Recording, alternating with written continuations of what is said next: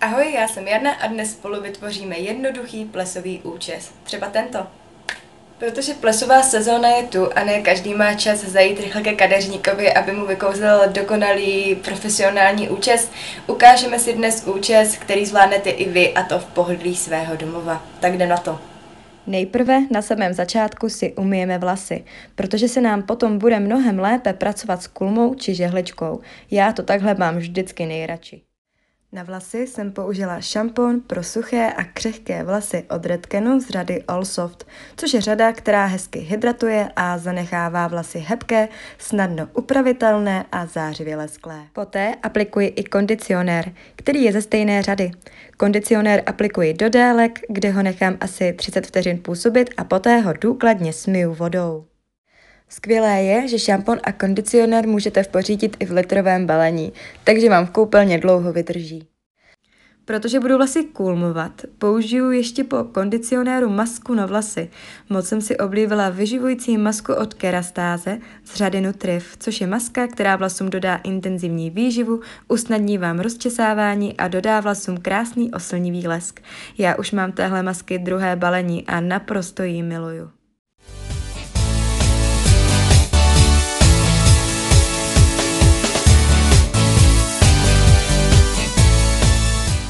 Fénování ještě použiju do délek vlasů vyživující vlasový olej od Kerastase z řady Chronology, což je olej pro hloubkovou péči a hydrataci. Dodá mým vlasům příjemnou vůni a oslnivý lesk. Olej můžete aplikovat do vlhkých i suchých vlasů. Jen ho nedávejte do úplně mokrých i hned po umytí. Aplikace do vlhkých vlasů je jednoduchá. Stačí dvakrát zapumpovat a olej rozetřít v dlaních. Poté jemnými tahy rovnoměrně zapracujte olej do celé délky vlasů. Ke kořínkům ho ale nedávejte. Vlasy by brzy vypadaly jako neumité. Tak a vrhneme se na samotný účes. Já mám doma buď žehličku na vlasy, s kterou můžu vytvořit vlnky, ale ty vlnky jsou takový ledabilý, jednodušší a přijde mi, že tak nevydrží. Oproti trojkůlně, kterou používám strašně moc ráda, ta manipulace s ní je hrozně rychlá a ty vlnky mi přijdou, že jsou takový mnohem víc efektivnější a udělá mi krásný, nádherný objem. Takže jdem na vlnky.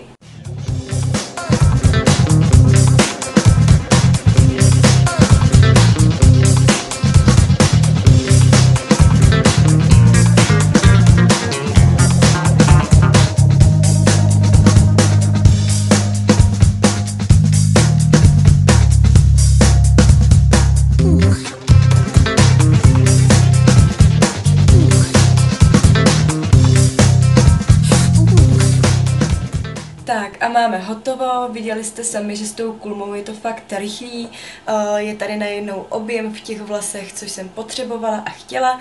Kdyby bylo na mě, tak bych si troufla jít na ples klidně i takhle, eh, nějak bych to neřešila, nebo kdybyste nestíhali, tak si myslím, že vlnky nikdy nesklamou, eh, je tam objem, je vidět, že jste si dali s těmi vlasy práci, akorát bych asi dala do vlasů nějakou sponku, která by to tak hezky obzvláštnila. Po kulmování s trojkulmou do vlasů ještě aplikuji regenerační sprej pro lesk vlasů od Alterny z řady Kaviár, který vlasům dodá oslnivý lesk, hydrataci a výživu. Naprosto ho miluju. A aby toho stylingu nebylo málo, použiju ještě lek na vlasy od Alterny z řady Kaviár.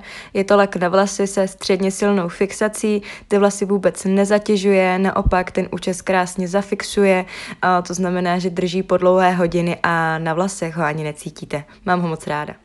Tak máme zafixováno, takže vlasy budou krásně držet a vlnky nám nějak nepovolí nebo nespadnou.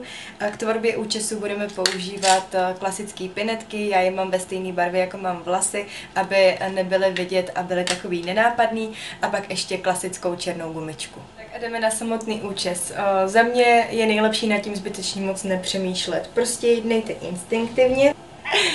tak tohle asi nebude úplně ono.